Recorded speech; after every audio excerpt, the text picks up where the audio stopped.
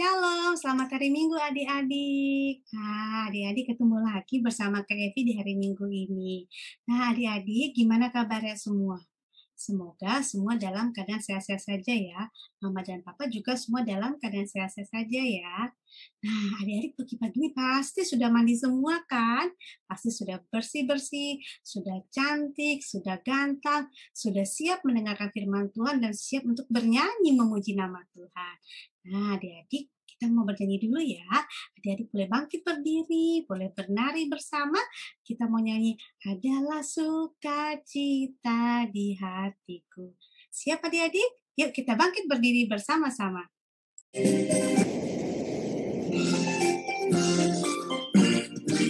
Adalah sukacita di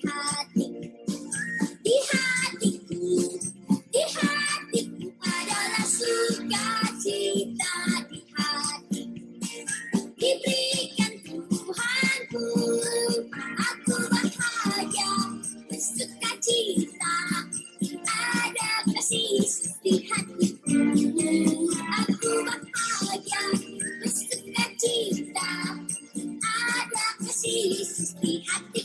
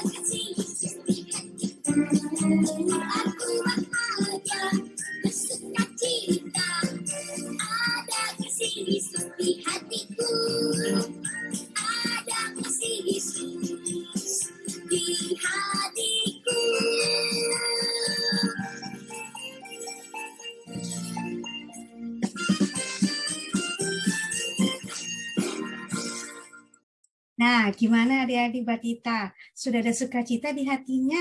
Kayak Evi yakin dan percaya. Pasti adik-adik Batita semua sudah ada sukacita di hati adik-adik Batita. Nah, sekarang adik-adik kita mau berdoa dulu ya. Sekarang adik-adik boleh duduk yang manis. Lipat tangannya, tundukkan kepalanya, kita bersatu di dalam doa. Selamat pagi ya Allah yang bersatu di dalam kerajaan sorga. Puji dan syukur kami panjatkan kehadirat Tuhan karena pagi hari ini di minggu pagi ceria cer- cerah ini Tuhan kami anak-anak Batita berkumpul kebaktian bersama dengan Papa dan Mama melalui YouTube. Tuhan Yesus, walaupun saat ini kami belum dapat berkumpul bersama teman-teman, bersama kakak guru sekolah minggu, tapi kami tetap setia dan semangat mengikuti kebaktian online kami. Tuhan Yesus pimpin kebaktian kami dari awal hingga akhir ya Tuhan. Di dalam nama Tuhan Yesus kami telah berdoa dan mengucap syukur. Amin. Nah, adik-adik masih semangat ya memuji nama Tuhannya ya. Nah, sekarang adik-adik kita mau nyanyi Kudaki daki daki daki gunung yang tinggi. Nah, jadi pakai gerakannya ya. Semua boleh bangkit berdiri. Kita mau bernyanyi kudaki daki gunung yang tinggi. Gunung yang tinggi, turun, turun, turun, turun, membayang darah, pun melintasi padang rumput hijau terbentang. Yesus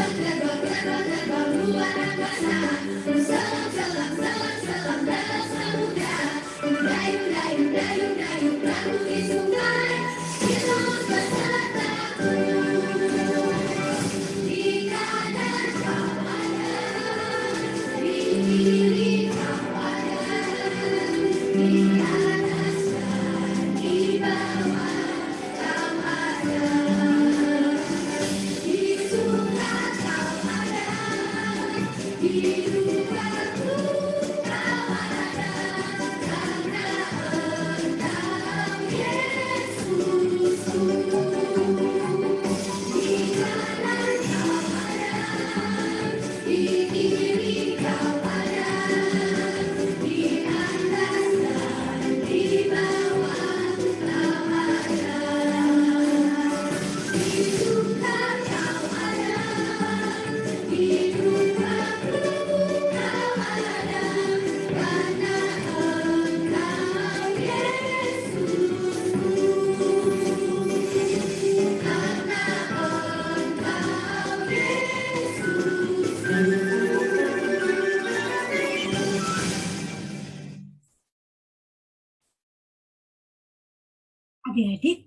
Seperti lagu Kuda Kidaki Gunung Tinggi tadi, ingat ya bahwa Tuhan Yesus ada di mana?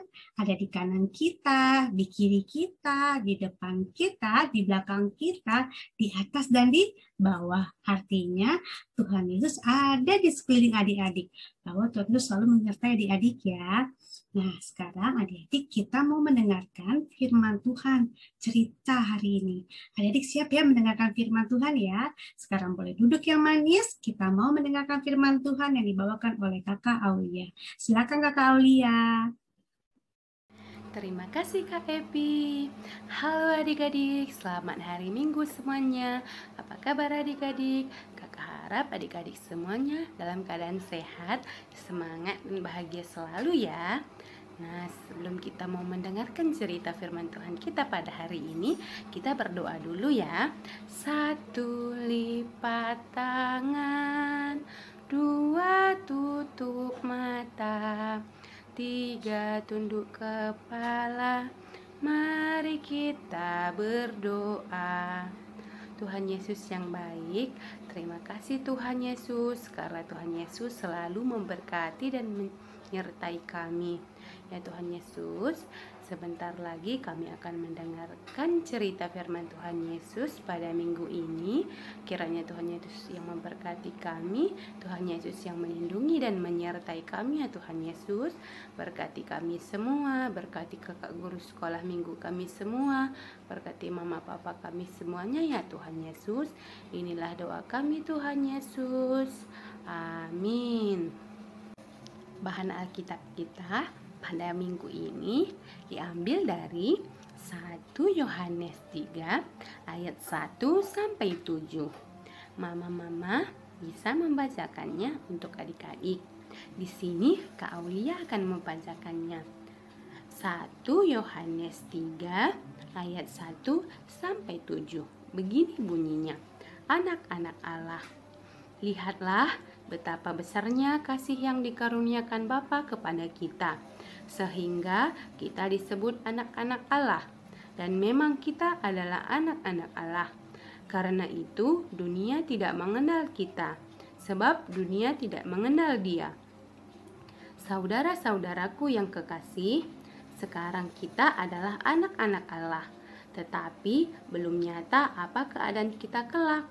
Akan tetapi kita tahu bahwa apabila Kristus menyatakan dirinya, kita akan menjadi sama seperti Dia, sebab kita akan melihat Dia dalam keadaan yang sebenarnya.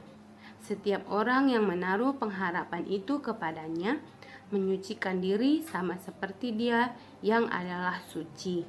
Setiap orang yang berbuat dosa melanggar juga hukum Allah, sebab dosa ialah pelanggaran hukum Allah dan kamu tahu bahwa ia telah menyatakan dirinya supaya ia menghapus segala dosa dan di dalam dia tidak ada dosa. Karena itu, setiap orang yang tetap berada di dalam dia tidak berbuat dosa lagi. Setiap orang yang tetap berbuat dosa tidak melihat dan tidak mengenal dia. Anak-anakku, janganlah membiarkan seorang pun menyesatkan kamu Barang siapa yang berbuat kebenaran adalah benar, sama seperti Kristus adalah benar. Demikian firman Tuhan. Tema kita yaitu anak-anak Allah. Nah, adik-adik, tema kita anak-anak Allah. Nah, jadi kita semua ini adik-adik anak-anak Allah. Nah, bagaimana sih perasaan kita? perasaan adik-adik disebut anak-anak Allah? Hmm, pasti senang ya.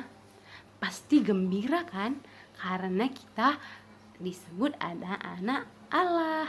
Nah, adik-adik, bagaimana sih caranya supaya Allah itu sayang kepada kita?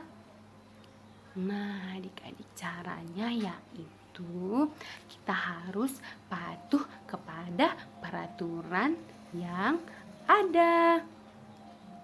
Contohnya itu adalah kita tidak boleh berbohong.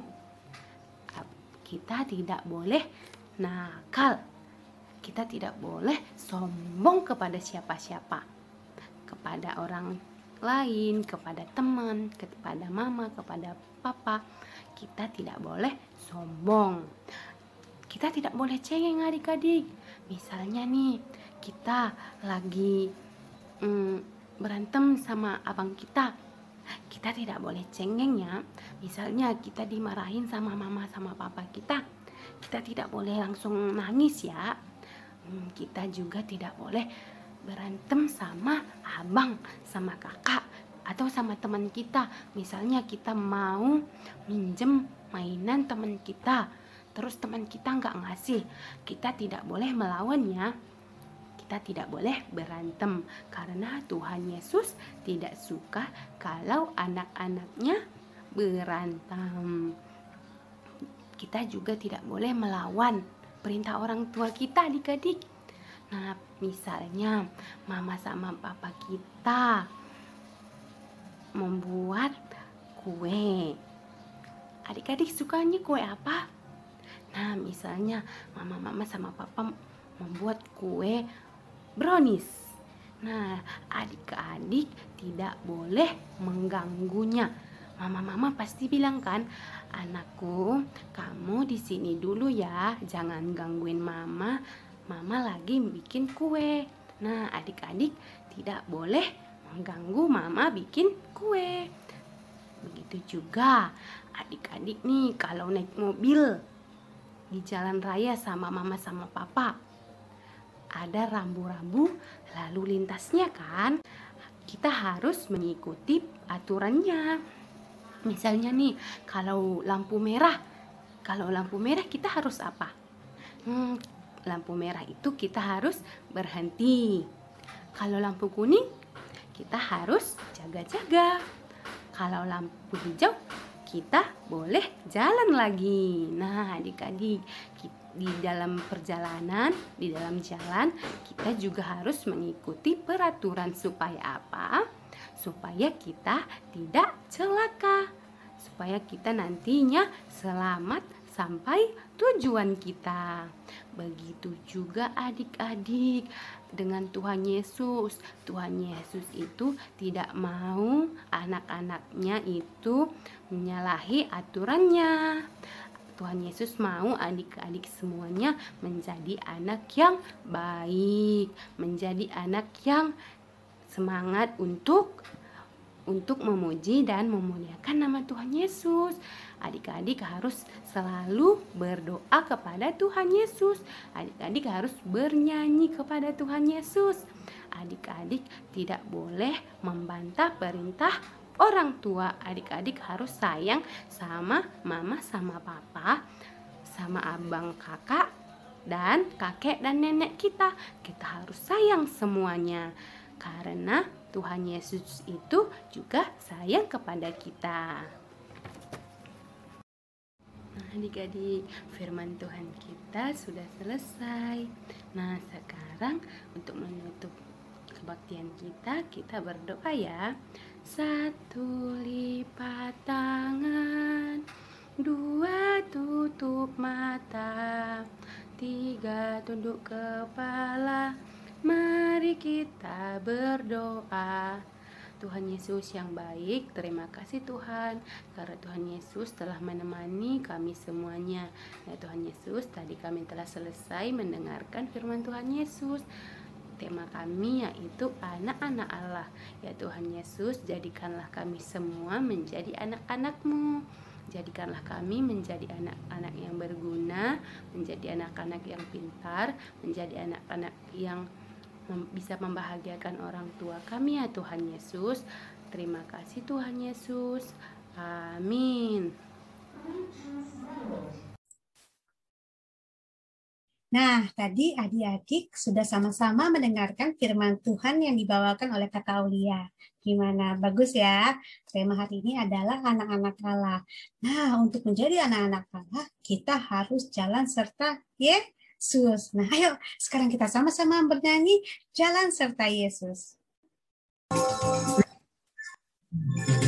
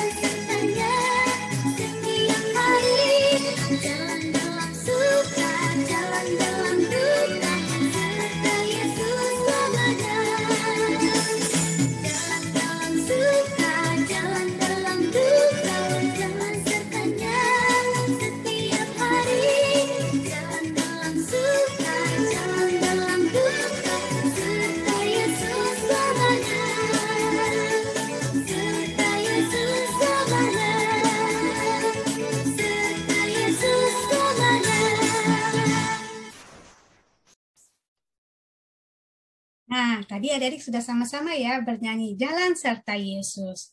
Nah, adik-adik, kebaktian kita sudah selesai ya.